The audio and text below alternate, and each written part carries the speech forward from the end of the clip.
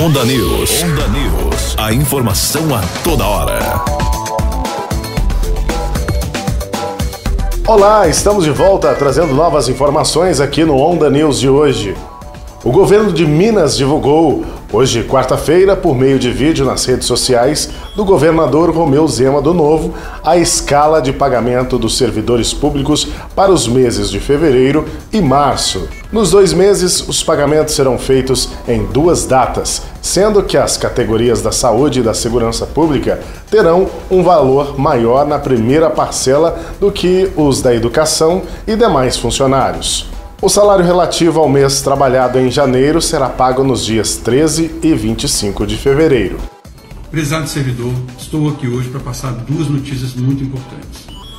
Como vocês sabem, estamos trabalhando fortemente na organização do caixa. Isso demanda muito esforço, muito trabalho, mas temos conseguido alcançar alguns resultados.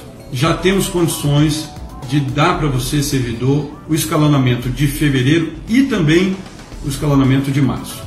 Em fevereiro, iremos pagar, no dia 13 de fevereiro, o valor de até R$ mil reais para todos os servidores. Para os servidores da carreira de segurança e saúde, o pagamento será no valor de até R$ mil reais. No dia 25 de fevereiro, iremos pagar o restante dos salários. Em março, pagaremos também no dia 13 de março salários de até R$ mil reais e para as carreiras de segurança e saúde pagaremos salários de até R$ mil reais. No dia 26 de março, pagaremos o restante do salário. A gente sabe que não é o ideal, mas a gente vem se esforçando muito para que a gente consiga fazer essa organização. Continuando em Minas Gerais, falando sobre o rompimento da barragem da Vale. Foi tema central da primeira reunião ordinária da Assembleia Legislativa em Minas. Mas a criação de uma comissão parlamentar de inquérito fica para investigar a tragédia na próxima semana.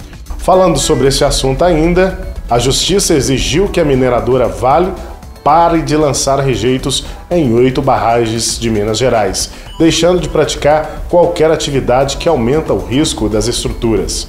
A ordem inclui a desativação da barragem das Laranjeiras da mina de Brucutu, em São Gonçalo do Rio Baixo, na região central de Minas e um dos maiores complexos minerários do mundo. A decisão é da 22ª Vara Civil da comarca de Belo Horizonte e atende o pedido do Ministério Público do Estado de Minas Gerais.